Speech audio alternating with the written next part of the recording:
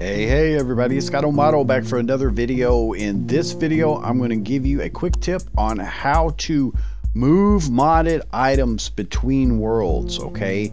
Uh, now these items, uh, you could pretty much use any modded items as long as they store their data in NBT in the item itself.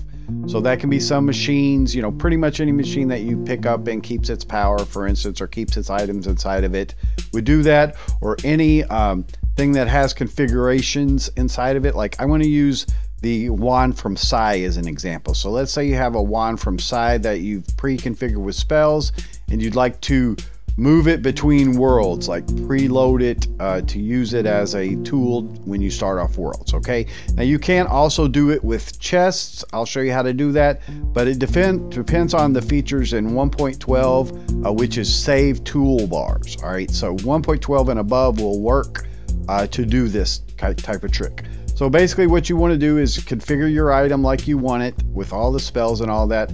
And then we're going to want to place it on our hotbar and you can place any other items that you want as well uh, to pre-configure this way. Uh, sometimes it's better to keep them separated because it's easier to read the NBT. I'll show you how to do that.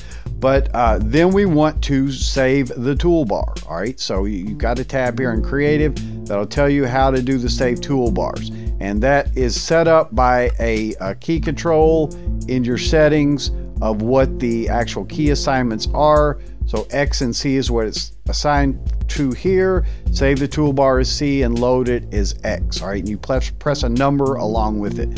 So if I want to save this toolbar, then I hold down my C key and I press one. All right, item toolbar save restore with X1. So uh, that toolbar is now saved and if I go into another world uh, and move the file, which I'll show you how to do, then I can reload this item with uh, that keystroke, X1. All right, that's the toolbar. So let's go out and take a look and see what it puts out on disk. So if you're going in Twitch, uh, then you would just go to your profile and choose open folder, but basically get to the Minecraft folder, .minecraft folder for your profile. If you're in MultiMC, you choose edit instance, uh, Minecraft folder. Uh, not really edit instance, just right click on the uh, mod pack and get uh, Minecraft folder.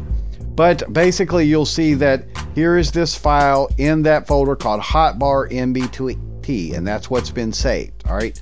So we can actually look at that in an NBT editor. I'll show you this online NBT editor because it works with 116 and all that. Uh, so basically just take that NBT file and drag it into the editor here and you can see what it contains. So these are your hotbar settings here. It's got space for nine of them. We saved in the first one, which is zero, so I can double click on that node and see that in uh, zero, I have the Psi CAD right here, right? And I can see the tags on it, what bullets are in it. I can even edit them if I want. Just be careful that you keep the same format and all that kind of stuff. Uh, what slots selected, you know, what's in the bullets again. You can open those to see more data about it, see what the spell is. So, you know, you could change the spell. I mean, you can get into deep detail. You don't really need to go into all this detail. Now, there's things that the UUID and stuff matters. So, you know, editing this stuff can be kind of difficult. But I wanted to show you that basically you can view it. All right. So if you want to copy that into another world, then all you need to do is just copy this hotbar NBT file and then paste it into your new save. So you create a new world, uh, copy this, paste it in the same location, the, the root folder here above configs, above mods, all that kind of stuff. And then load it with the same uh, save toolbar number that you want. So X1. If I wanted to load it again, so you know, let's just pretend I was in another world. Uh, it doesn't really matter. Here I could clear out this hotbar. Let's go to my regular hotbar and clear this out and then choose, uh, let me go full screen.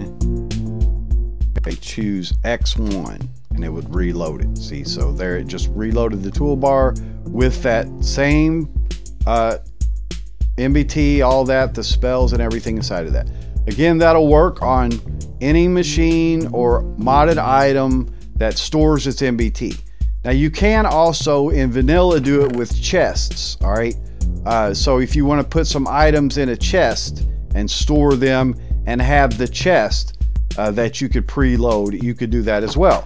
All right. Now, how you do that is you use your pick block function. So whatever that's assigned to, it's middle click by default. Uh, but you hold down your control key when you choose your pick block uh, on Windows or on Mac, you hold down command key. All right, so hold it down and then pick block. And when it does, it will pick up this chest and in the tooltip, it'll say NBT plus or plus NBT. And that means that it has that those items stored inside of it right there. So see if I take that item and then save the toolbar uh, to the world, same trick that we did, save it to another toolbar or whatever you, then I can transfer the items in this chest as well. So that's pretty cool to be able to do that if you want building blocks or just pre-configured modded, modded items or what have you. Uh, again, modded items will work as long as they store their NBT inside of it. An example of one that doesn't work, for instance, would be your uh, Project E uh, transmutation table. It doesn't store the NBT inside of the transmutation table. It does store NBT, and I have a video on the channel about how to move that stuff. But um, basically, that's an example of one that wouldn't work. All right. Uh, now, again, you could do this in, in 112 and above with the vanilla chest thing, uh, and that'll work just fine. So, guys, that's pretty cool little tip on how to move items between worlds. Uh, now, I do just quickly want to point out a mod that does the same type of thing, and that's a mod called Multiverse Pouch. All right, uh, it's not very well known, uh, but it basically does the same thing, but maybe in a little bit cleaner function using a pouch. Now, you have to click a block to open it for some weird reason, uh, but if I took this guy and I put it in this multiverse pouch here, all right, and then save out like so uh, let me get out of full screen.